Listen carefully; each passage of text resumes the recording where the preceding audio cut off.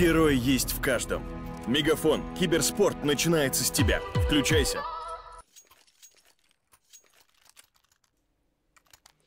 Итак, друзья, всем снова привет, с вами CrystalMay, мы смотрим третью карту в рамках LDLC против ENCE. В сегодняшнем первом Best of 3 на IEM Katowice закрытых квалификациях европейского, к европейскому минору.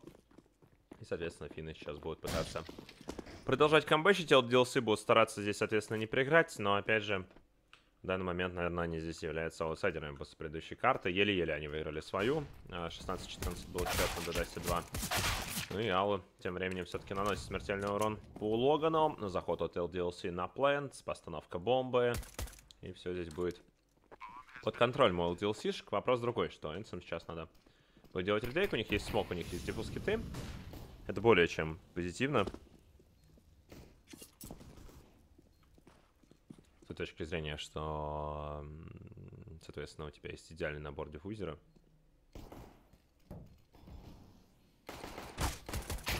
Ну и до свидания. Сергей. Если он минусует еще и... Да, они даже не надо было их минусовать. То есть они просто-напросто взяли, дошли. Тут весь плюс был э, для Энца в том, что заход был с разных сторон, да. То есть у тебя есть контроль над Эльпаном, есть контроль над коннектором, есть контроль над э, ямой. И LDLC были в центре всего этого, в эпицентре сражения вокруг этих точек, да, то есть ни одной точки, которая могла бы тупо закрыться и контролить сугубо бомбу, и из-за этого, соответственно, у Энс получилось все сделать настолько качественно. Ну, плюс стрельба, это понятно, но я имею в виду именно позиционно, у них была явно выигрышная ситуация, плюс еще и смог диффуз киты, это штука, которая очень сложно контрится. Эриал тем временем вместе с Сергеем будут выходить у нас на верхний мидл, здесь три человека их ждут. Да, это минус один, минус второй. И, господи, как же они шинкуют людей. Ну, в общем, у LDLC, походу, не задалась и эта игра с самого начала. Напомню, что на Нюке они тоже крайне слабо выступили, особенно на первой половине на дефенсе. Там было все совсем грустно. На второй половине, в принципе, уже было предсказуемо то, что они проиграют. Но это выглядит крайне-крайне печально сейчас для LDLC. Монах, правда, убивает Алекси. Ну и тот человек, за которого надо зацепиться, это, конечно, Тойно, потому что он все-таки демонстрировал неплохой геймплей на протяжении первой игры. Так что тут важно, конечно, важно понять и простить.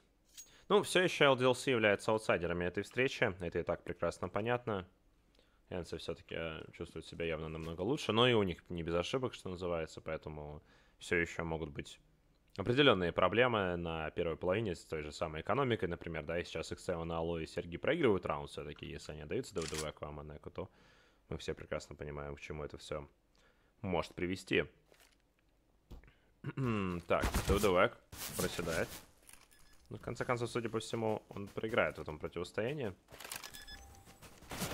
Да, ошибка ДВДВ. Что ж, э, в конце концов, 3-0 и очень крутой контрпуш на миде. В общем и целом закончил раунд. То есть в тот момент, когда Сергей и компания сделали 3 килла по медовым игрокам LDLC, которые их ждали там, да, то есть по логике вещей они должны были с ними перестреливаться, потому что они были полностью готовы к подобному э, маневру от игроков, ата... Ой, от игроков в защите, то защиты, точнее, то Соответственно, на этом раунд весь закончился. Двум игрокам уже на планете делать было нечего, кроме как ставить бомбу. И LDLC теперь уже без денег выбегает у нас, соответственно, на девайсе противника. Нерил оформляет 2 килла, Алло сражается у нас с Саманеком, ну и тут все прекрасно понятно. Хотя вот он хедшот есть, но это все, что он может сделать.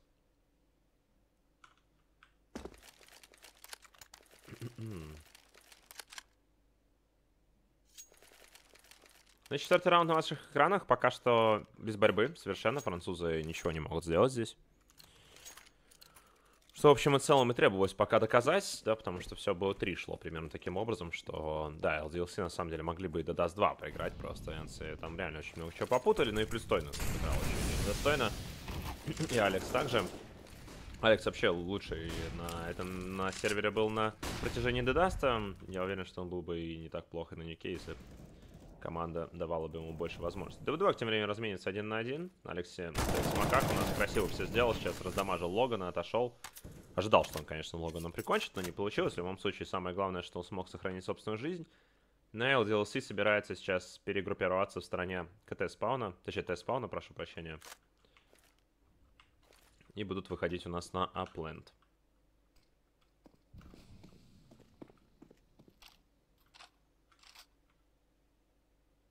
И выйдут ли, вот вопрос. Ну да, да, выходит. По раскидкам все есть. Есть э, один смог, три молика. Этого, в принципе, должно быть достаточно, чтобы отмолотвить три позиции. Хотя можно, опять же, да, сохранить часть молотовых и выйти просто-напросто под один смог, под один молик. Чтобы потом впоследствии на ретейке, на защите из-под ретейка, точнее, уже были возможности. Ну нет, они тратят молотов наверх, тратят молотов на нинджа, но при этом всем Аллу все еще не, гори, не горит, и Аллу делает 2 килла. Да? Нет. О, Аллу пошел спрей, знаете, такой покасательный по всем. Да. Ну, очень красные, очень красные LDLC остались в этом моменте. Хамана, кстати, все еще носит э, с собой теги Misfits'ев.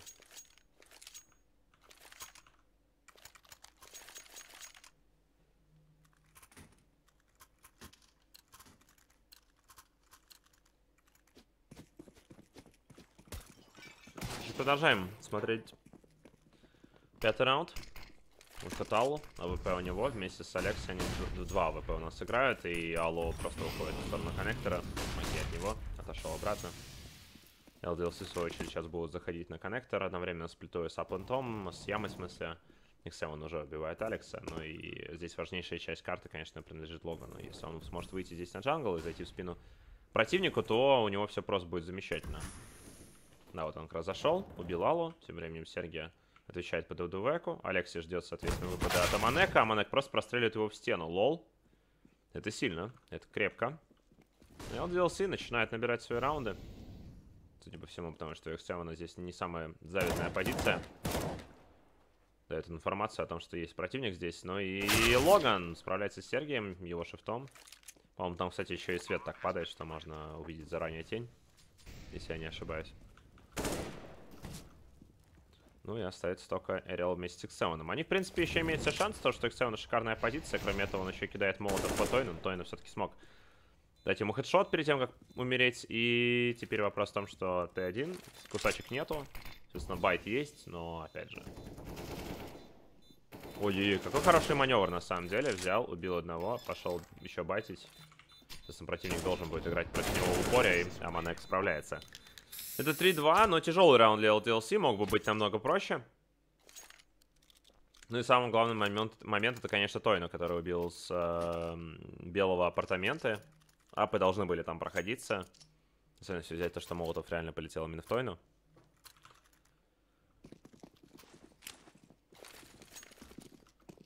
Так что такое. Близкий раунд, я бы сказал близкий раунд для LDLC. Тем временем у нас выход от Алекси. Пошел дэмэдж по Алексу, соответственно. У нас Алекс и Алекси. Еще давайте добавим Саш немножко. Ну и постановка бомбы от LDLC. Логично совершенно. Экономический раунд. Ничего особенного. Громче. Вы имеете меня, что ли? Ну, давайте я погромче сделаю. Так будет нормально? Пам-пам-пам.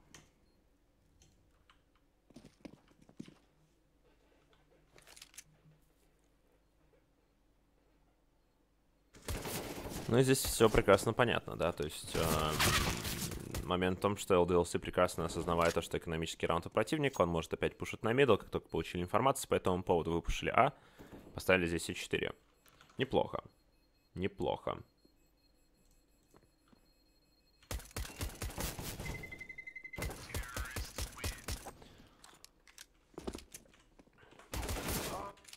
Ну, что касается правильных сражений, соответственно, у нас идет э, противостояние XCOM против Virtus.pro. ВП могут проиграть второй эшелоном или третий эшелоном, наверное, даже третий эшелоном полякам, потому что лично, ну, я, например, не знаю никого здесь, кроме Оскариша, и, в общем, и все.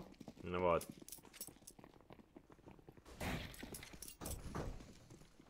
Соответственно, Виртуса, обя... Виртуса обязаны такую команду переигрывать. Но, судя по всему, у них пока с ними проблемы. Хаешка по Манеку влетает. Молотовы, соответственно, ответные там неудачные, я так понял. Или они просто на то, чтобы кого-то там найти. Ну и Алекси ждет, когда же все-таки к нему придут. Приходит с андерграунда, убивает Эриала. Алекс сейчас откинет хаешку. Сочно. Сочно прилетает, очень даже. Там она не только убивает Логана, но и дамажит Аманека и Алекса. Так что теперь они чувствуют себя крайне неуютно. После подобного маневра. А, он взрывает голову Алексу.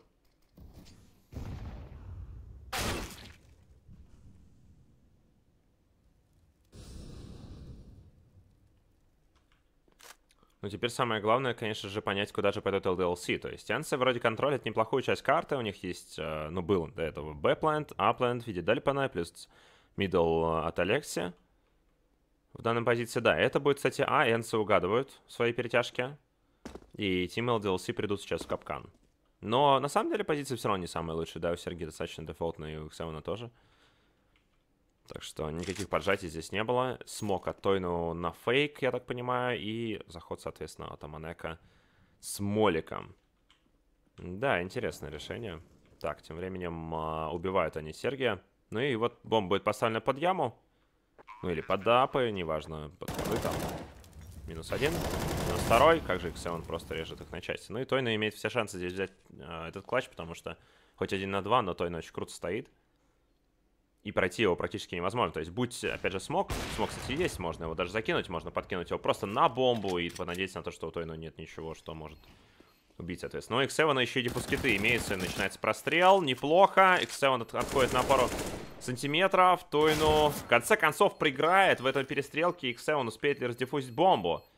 Да, успевает. Шикарная работа от X7. Трипл килл. И здесь он прям на тоненького сыграл, отошел. Подождал, когда противник доспреется понял, где он находится в точности, и вышел, подпрыгнул на ящик, вышел и убил его.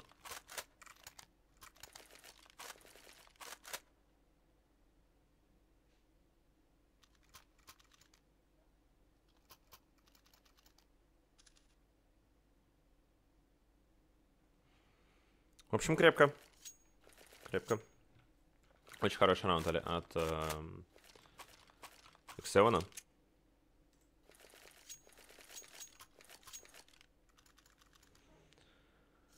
ВП все равно дальше по сетке отлетает от СС, даже и сейчас выигрывают, торги не нужен состав. Но этот...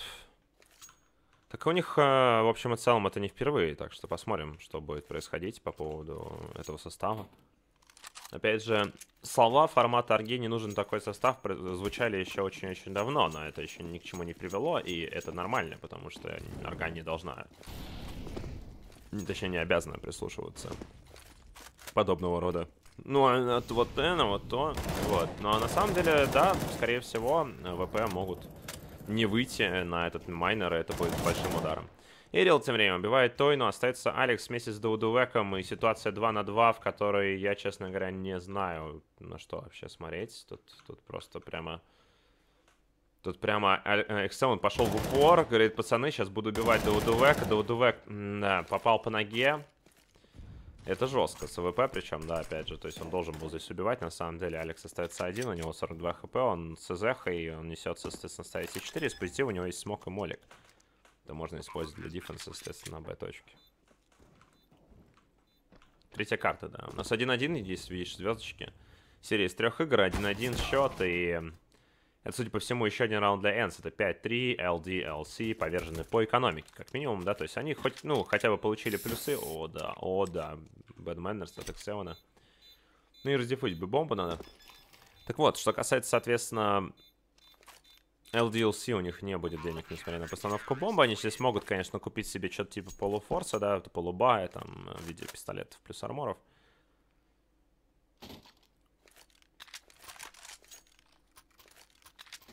Ну и пауза. Паузичка. Так, что там у нас по поводу параллельных встреч? Соответственно, 8-2 от XCOM. Virtus Pro проигрывают. Пока что. Но это будет, конечно, очень большой удар по ним. АПЛГ Grand Slam, это получается уже лан, да, будет проходить. Да, да, лан с сегодняшнего дня начинается за 100 тысяч долларов. Очень слабые команды, не считая Hellraiders и Fnatic и Авангар.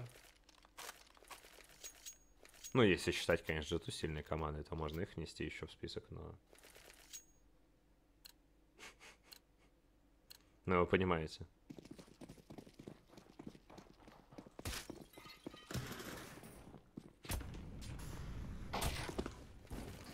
Так ли?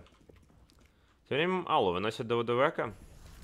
Естественно, LDLC пока что вообще без вариантов, без шансов. Хаешечка неплохая, прилетает Тойну. Флешечка против Логана, смог под себя от X7.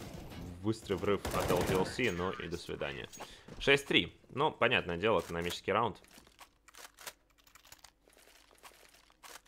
Хочет мерч Энс, пишите в ЛС, у тебя есть мерч Энсов.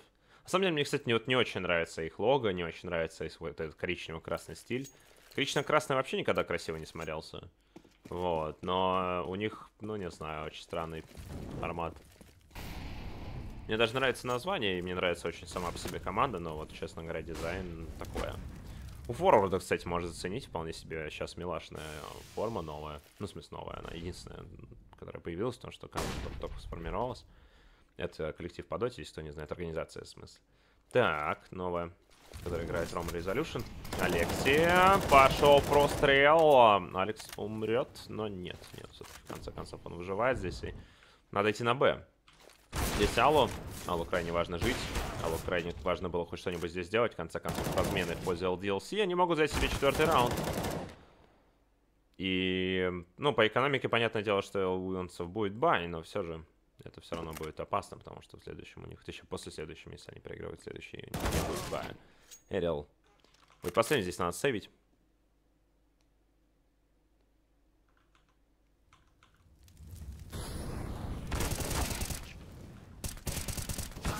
Слушайте, ну это было близко, на самом деле. Эрил, как всегда, просто красавчик, просто монстр, реально трипл килл.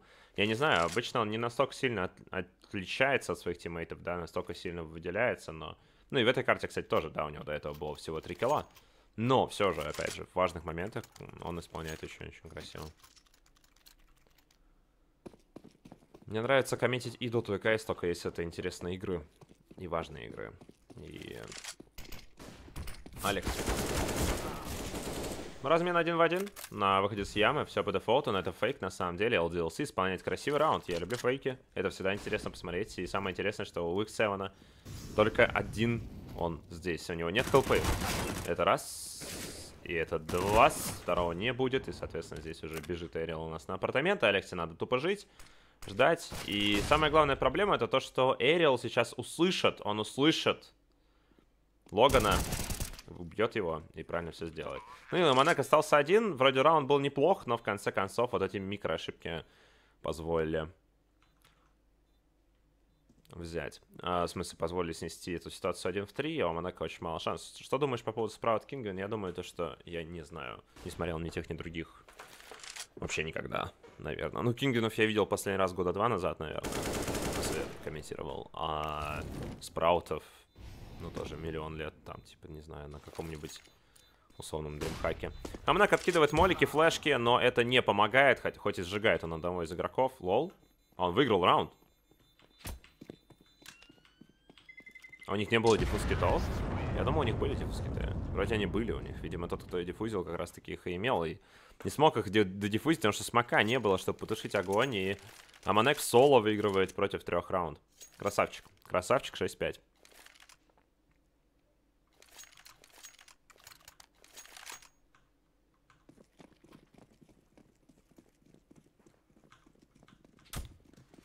Жестко. Жестко. Алло. Опять молотов под себя.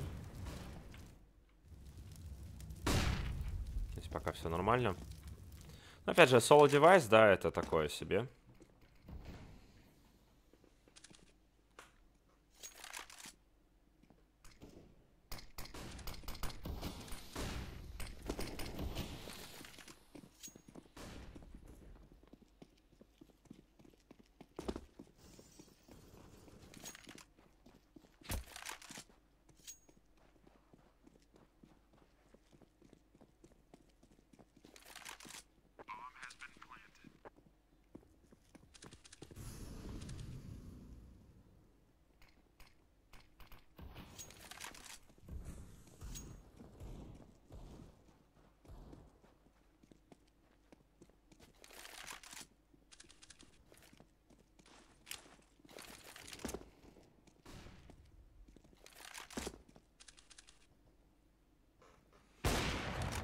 Итак, друзья, Остается...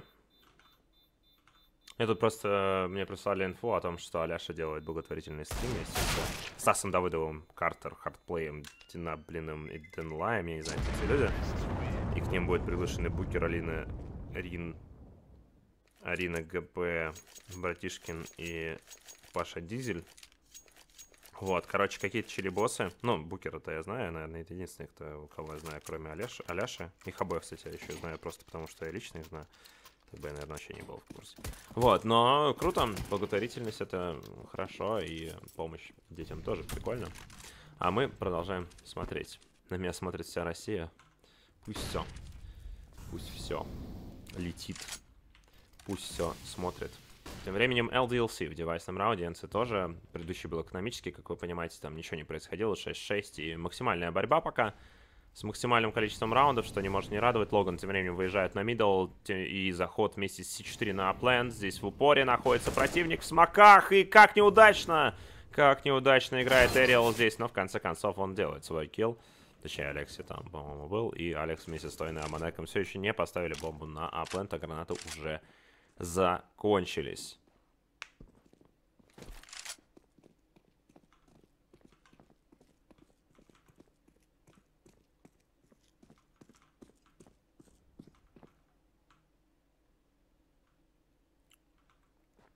Почему уволен-то? Рассказал вам о, доб о добрых а, людях на среди нашего комьюнити стримерского и твичевого. По-моему, это круто. По-моему, благотворительность именно когда ты делаешь ее не в формате, типа, вот, смотрите, больные люди, а ты делаешь ее креативно и красиво, и э, воодушевляешь людей, то это круто. Алекс остается последним. Здесь была перестрелка у нас на миде, которая привела только к смерти двух игроков LDLC и потере бомбы. Это 7-6, судя по всему.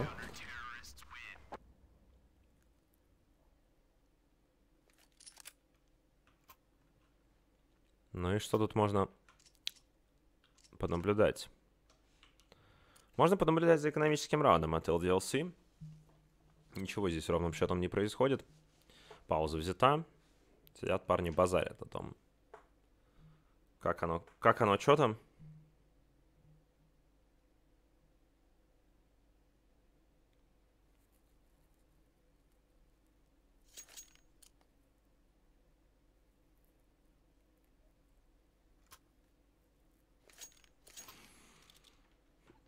Ну и, соответственно, кстати, если читали нынешние новости по поводу МОК, которая пытается внедрить эм,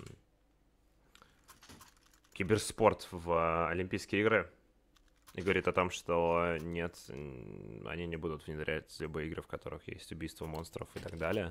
Считает, что это типа не соответствует духу киберспорти... точнее, олимпийскому, и мало того, они хотят сделать только соревнования для тех, кто будет реально, типа, на педали жать, то есть есть, типа, виртуальный велоспорт, например, да, которым ты тоже реально садишься на реальный велосипед, ну, не на реальный велосипед, а вы понимаете, на фейк велосипеда и жмете на педали, и, типа, вам показывается, что вы куда-то там едете и так далее.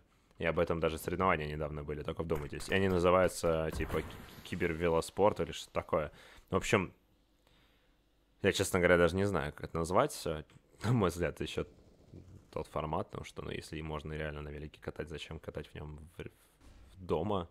Ну, да это такое. Тем временем заход от LDLC. Мне просто очень интересно, чем эта вся эпопея закончится с э, олимпийскими э, темами, потому что, ну, на мой взгляд, такое себе. Так, Логан. Опа. Опаньки. Опаньки, а это нож. Эх, забрал АВП. Вот если бы он еще Sergej'я убил, вот это был бы жесткий хайлайт, но вместо этого он просто умер. И, соответственно, ВП тоже было посеяно, что печально. Сергий пошел перетягиваться меж, с межглавия на подковерье. Решил, что здесь будет ПСВой, потому что здесь его могут не прочесть. Проблема в том, что там еще один засадный полк в виде Аманека, и он тоже обойдет, соответственно, стороны Дельпана. И это будет больно. И он теперь имеет инфу. Сергей не чекает. Ну, очень-очень, конечно, нерасторопно сыграно с его стороны. Понятное дело, пошел дэмэдж от Эриал, убивает ДВДВК. Надо ставить C4 в ближайшее время, потому что LDLC, ну, тут это форсбай, и надо выигрывать его в салат, потому что иначе в следующем раунде снова денег не будет. Снова придется форсбайиться. А это такое себе.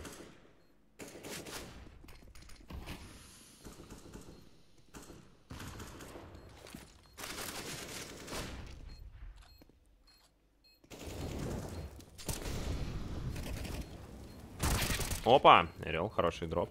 AmaNEk. В упоре с АВП. Надо работать сквозь ящики, но не получается, но в конце концов энцы разбираются с этим ретейком. Кто-нибудь смотрел последний чемпик по FIFA, который PGL делали? Я не знаю, он типа международного уровня, там что-то типа формата International. Вот, ну, в общем, сильный какой-то чемпик официальный от EA Sports и так далее. Складонно, да-да-да. Господи, э, если вы это вспомнили из-за моего стрима, в смысле из-за моего комментирования, то спасибо вам. Если из-за того, что просто где-то нашли, вот, то все равно прикольно, что вы вспомнили. Точнее, что вы знаете об этом. Итак, 8-6, и, по-моему, здесь... Ну, есть шансы, конечно, у атаки, потому что есть раскидки какие-то минимальные, но вы понимаете, да, это МК вместе с э, диффуз-китами и смоками против просто выходящих, ну, вот так вот, да, парней. Ну, это ГГ. Это 9-6 победа. Янс на первой половине, соответственно. Аманек остается последним живых здесь. Ну, опять же, Энсы сами выбирали себе сторону, и взять на той стороне, которой ты сам выбирал себе 9 э, раундов, только это не так много, но и не так уж мало. То есть я бы сказал, что это усредненный результат, который, в общем и целом, ничего особо сильно не меняет.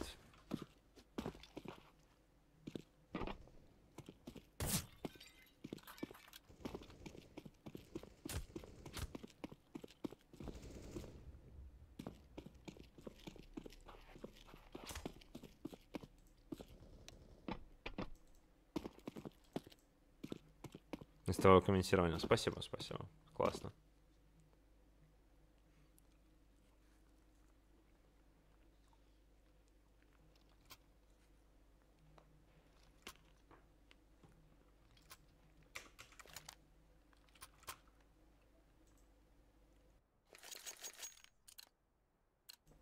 Итак, продолжаем. Вторая половина. LDLC против Венс на третьей карте. Домираж, напомню. Дальше у нас будет э, что-то тоже очень-очень неплохое. Такое, знаете, вдохновляющее на жизнь. По-моему, а, да, King Heroic. Крепкая катуля. Вот, а самое время напомнить вам о том, что надо поднять счеты за безлимит, болеть за своих самым быстрым мобильным интернетом от Мегафон.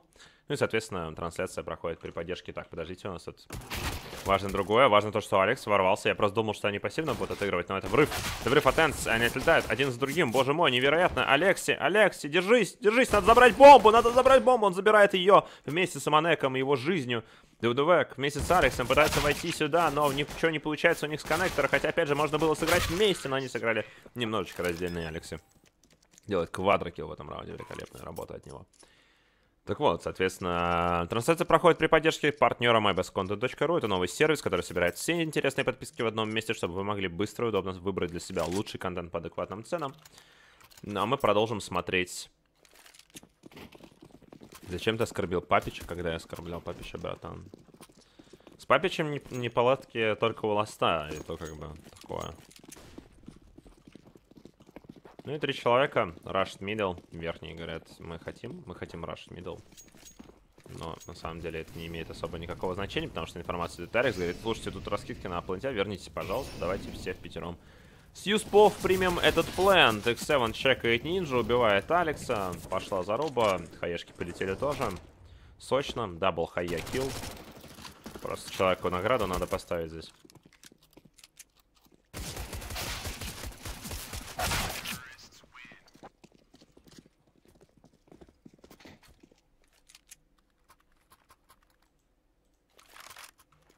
Так вот, Циклодон, гейминг, короче, продолжается. Причем, а, что самое жесткое, что я так понимаю, что Фина не собирается менять девайсы. Ну, купили, ладно, один АК вместо Мака, да, один Мак остался лежать. Где этот Мак? Куда не дели Мак? Ну ладно, неважно. Я уже думал, знаете, будет такая грустная трагедия об одном макушке, который остался валяться на тест-спауне. Никому не нужный и использованный Пусть, короче, печаль. Аманек. С аугом. Вместе с Давыдувеком обороняется а на Б-планте, но ну, опять же, да, ну мы понимаем, что тут такое себе. Алекс тем временем остается у нас на джангле. Открывается. Сергей убивает одного. Ответочка неплохая от Алекса. Но надо брать раунд. Вот сейчас надо брать раунд, Уже поздно. Уже поздно пить боржоми. Нельзя проигрывать ни одного раунда. Тимы LDLC должны взяться сочно. У меня больше комментариев. Это Габелла. 6-12, друзья. Причем я уверен, что сейчас у кого-то начинает полыхать не только потому, что LDLC проигрывает. Ну да ладно, я думаю, что мало кто поставил на них, условно говоря. Но я уверен, то, что начинает гореть по поводу... По поводу, соответственно, кэф... В смысле, по поводу тотала.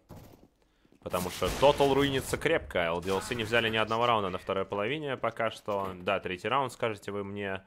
Но раунды могут и закончиться таким образом. Если сейчас еще вот... Ну, то есть денег сейчас нету LDLC, соответственно, это 6-13.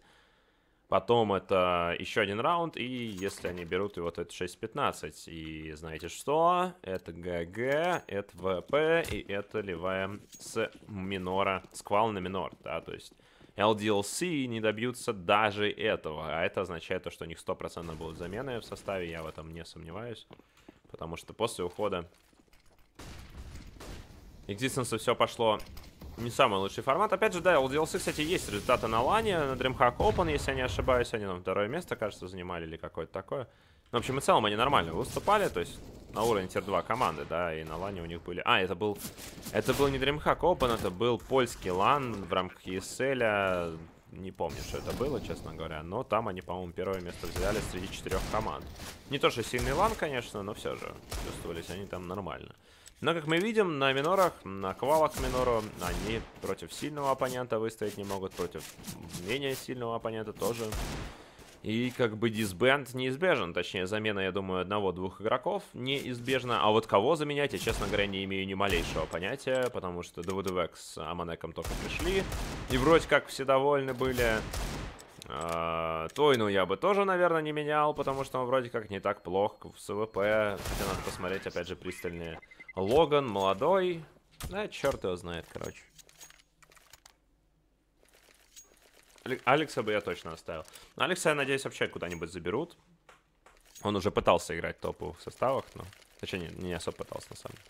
Но он со времен... Он здесь, кстати, один из самых старых людей, то есть... Э, Тойну и Алекс самые олдскульные парни, потому что они играли еще в составе с Existence, причем в, сам, в одних из самых первых составов с Existence Mall DLC.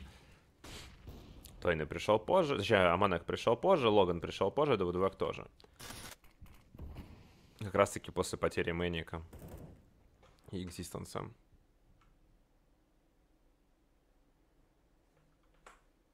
Ну, кстати, да, по поводу того, что ВП к себе на минор на Катовиц не выходит, это печаль, беда, это прям очень плохо. Они все-таки не, не выиграли, да? Все-таки проиграли. Где это написано-то, господи?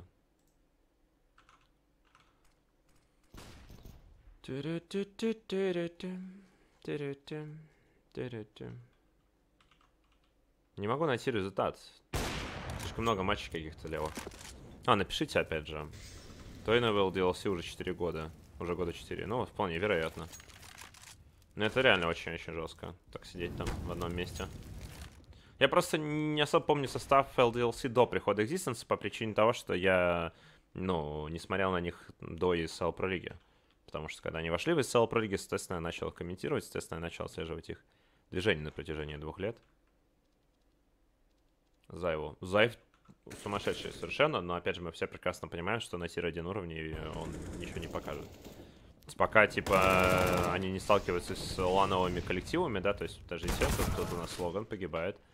Очень, очень, очень безалаберно сыграно от Логана сейчас. Вот реально за такое можно уже думать о том, что если вот кикать, то его.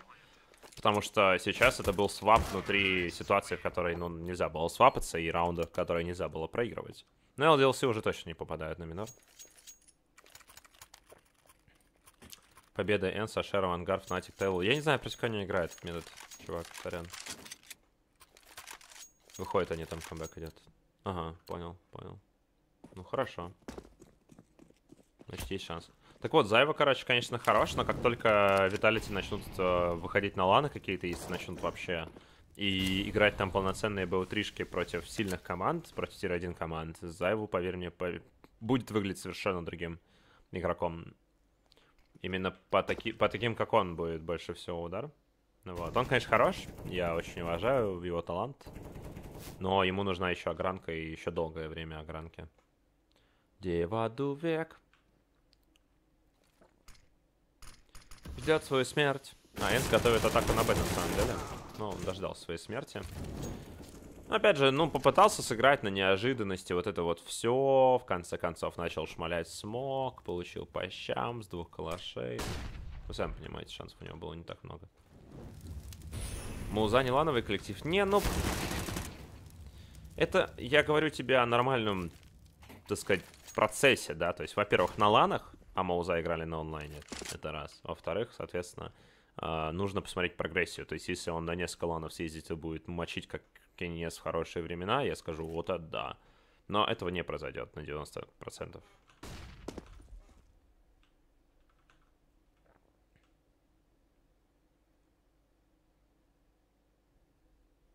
Да, LDLC White из LDLC был, был, я помню, да. Но опять же, видите сами, что в конце концов, после ухода Existence, это единственный состав LDLC, и он нас вообще не играет.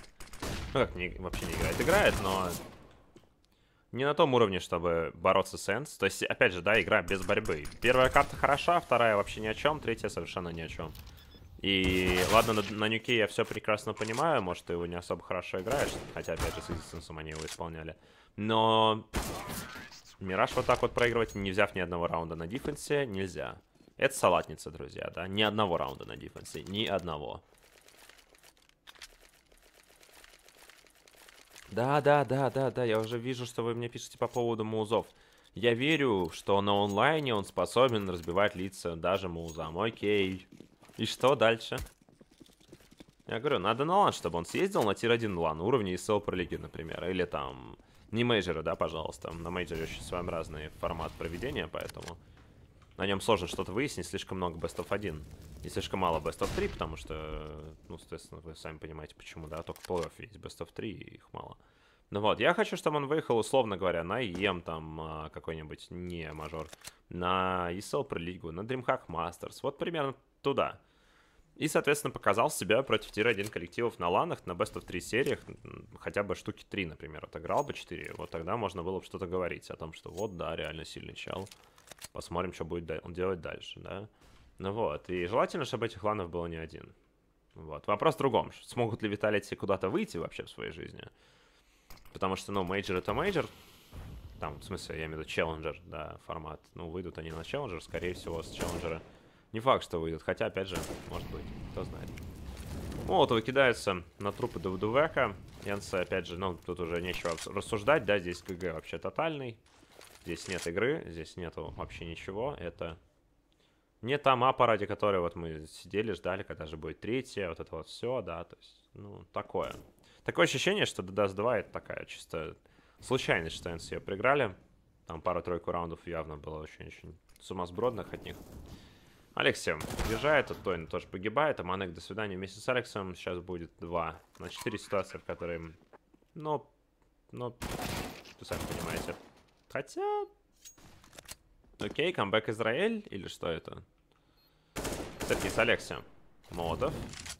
Опять же, развязаны руки у Энс, наоборот, у LDLC, соответственно, каждое движение сейчас стоит раунда, стоит игры, стоит всего матча. Ну да, Сергей они победят, и это 7-15.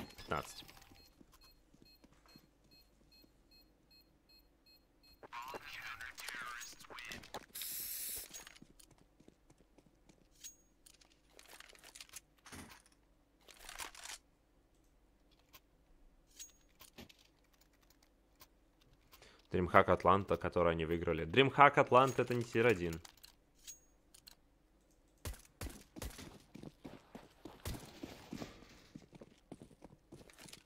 О всяком. Сейчас бы говорить то, что мы... Точнее, рассуждение о, вся... о Зайву это о всяком? Серьезно? Ты это хочешь назвать? При счете 6-15, да? Серьезно, уважаемый? Это очень своеобразный маневр, конечно. Но у меня есть подозрение, что это не о всяком. Есть подозрение, что это напрямую связано с Counter-Strike и этими квалификациями, потому что на них сегодня еще его будут играть, потому что вчера они проиграли Маузам. То и на тем время отрубает Эрила.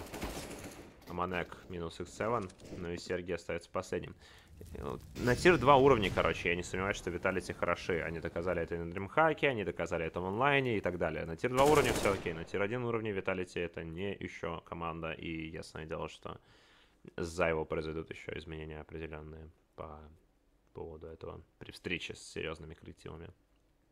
Но опять же, мне нравится то, что он делает, то есть я не хочу его там не с этой секунды как-либо говорить, что он там слабый и так далее. Я считаю, что у него команда просто слабая, это факт. Ну, то есть я бы не сказал то, что эти ветераны способны обратно найти один уровень, если не взять поддержку от Зайву, им нужен еще один явно какой-то челик, который бы был бы примерно вот такого же таланта и, молодо... и, и будущим молодым. Потому что обычно команды вообще играют три молодых, два старых, да? Ну, это примерно средненький такой состав, обычный. Вот, а, два опытных, три молодых бывает, три опытных, два молодых. Вот, но здесь, конечно, опять же нужно, чтобы Неплохо было бы, чтобы помимо Зайва появился еще один Зайва в составе. В конце концов, Сергей не поставит здесь бомбу. LDLC начали хорошо раунд. 4 килла от Тойного. Поздравляем его. 8-15. Но пока даже камбэком не пахнет.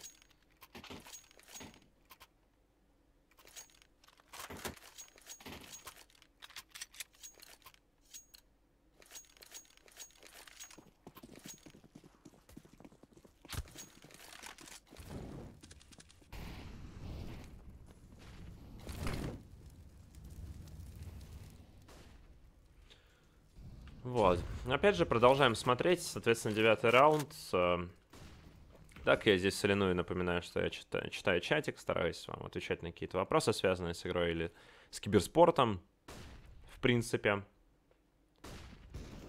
Алло, убивает Тойну. Логан. Под коврами. Хороший спрей по одному. До свидания от Сергея. И, соответственно, три человека про четырех. Хэнс поставить все четыре. Легко не напряжно, минус x7, соответственно, подобрать AWP, сыграть против Aleksib-а, не получилось, devoduvek вместе с AmaNEk-ом. Ну, тут как бы вопрос к AmaNEk-у, да, он сейчас может вытащить раунд, а может его и позалить. Allu. Ставить C4. Пока smoke стоит, можно это сделать. Интересно то, что они... А, то есть надо перебежать сейчас, надо Allu сейчас бежать просто на middle по-хорошему. Но у него не получится это сделать. Smoke есть, defuse-киты есть, LDLC должны выиграть этот раунд по логике вещей.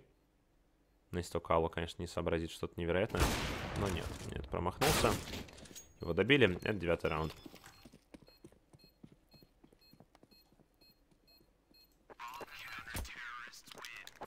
За его попав в, тир, на, в tier-1 команду, не отыгрывал бы на этом уровне. Ты даже себе не представляешь, какой большой путь нужно пройти, чтобы на tier-1 уровне играть, условно говоря, на сцене будучи даже топовым чуваком. Это, правда, очень-очень долгий период, при этом всем тебе еще нужно, чтобы у тебя в команде были такие челы, которые могут тебя к этому адаптировать, а не просто бросить в зарубу. Если ты посмотришь, э, за все это время есть только, там, не знаю, один-два человека, которые по-настоящему быстро адаптировались к сцене и игре на тир-1 уровне но это исключительно единицы, и при этом всем намного больше это зависело именно от того, что в команде есть определенный настрой, который позволяет этому игроку раскрываться. Алекс тем временем. Размен один на один. Энс сейчас возьмут с захами, походу, да? Они продолжают обузить аплент. Бесконечно ставя на него бомбы. X7 решил пропушить. Получил много дэмэджа. 14 хп у него осталось. Лул. Что происходит? А че он просто тупо него не запушит? Через шорт-то. А бомбу все еще, кстати, не поставили, я так понимаю. Снесли бомбера. Поэтому sergej останется последним здесь на танцполе. Погибнет. Ну, если только не сделает, конечно, quadro kill с э, 11 HP, но сомнительно.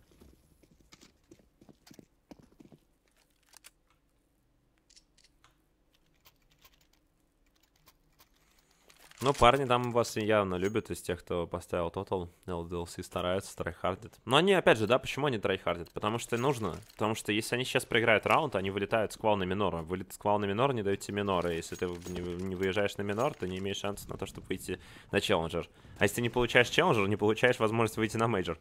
Короче, все очень жестко, не так ли? Вот, и э, понятное дело, что LDLC трайхардят как из последних сил, потому что, ну, надо выжить все, надо выжить максимум. И проиграть без боя это реально GG и disband. Проиграть с боем, ну, можно еще будет подумать, что из вас это получится здесь.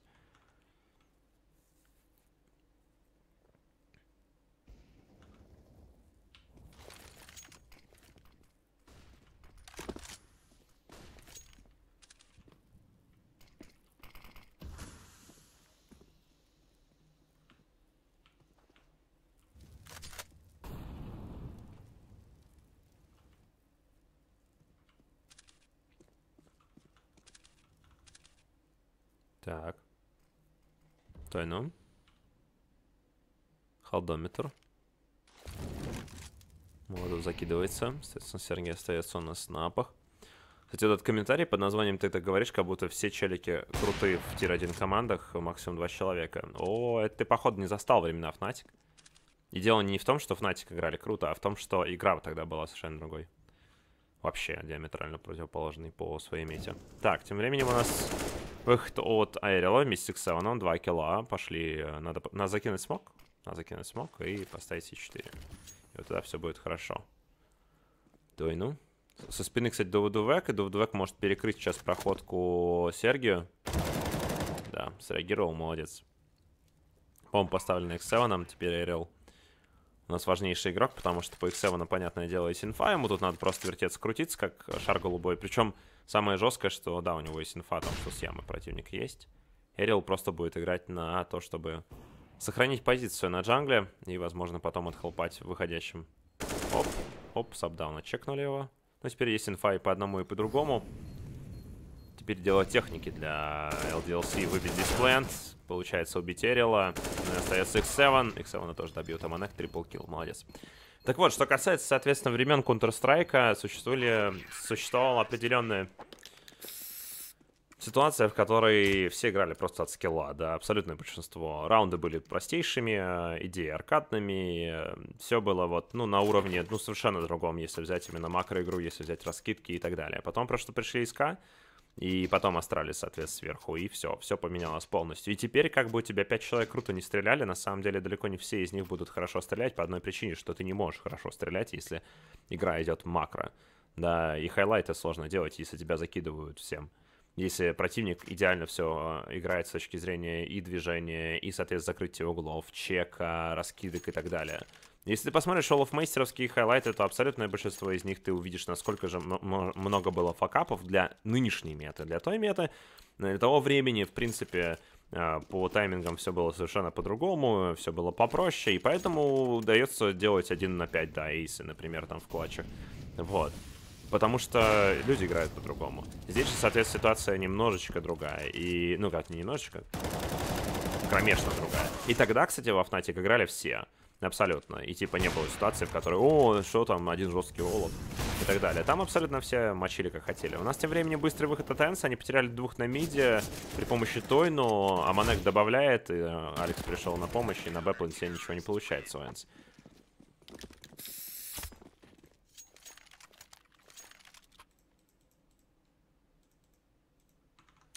Ну что, Энсы могут залить это на самом деле. Будем честны. Они могут это залить это в салат, потому что 13-5. Team LDLC, напомню, до 15 раунда не брала ни один раунд на защите.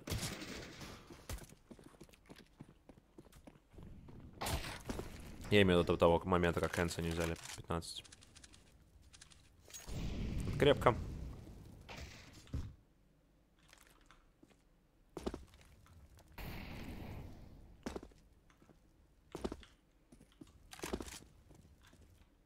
Трава была зеленее? Нет. Сейчас намного лучше игра. И именно поэтому можно сказать, что на самом деле в топ-1 командах, эм, ну там в топ-5, допустим, говоря, команд, эм, играют сейчас все абсолютно сильно. Бывает, конечно, проседание и так далее, но я имею в виду.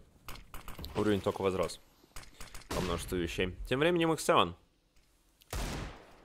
Сба пошла под но рядом играет Алекс. Опа, до свидания. Просто ситуация другая. Рядом с Сало и Сергеем 3 на 4. И, ну, здесь надо уже понимать прекрасно, что...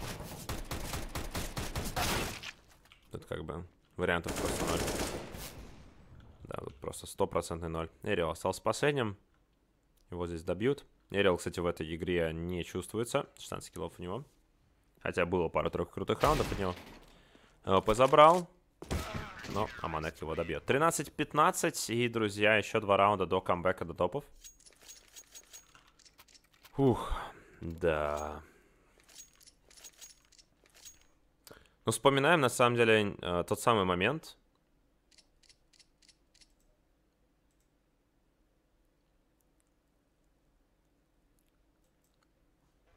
Тот самый момент.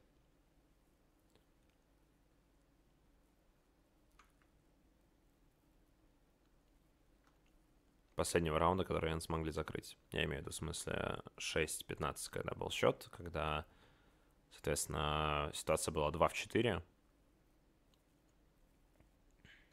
И я имею в виду в пользу Энса они ставили бомбу и так далее. И там вот налажали, и все поехало обратно. Совершенно ошибка, друзья.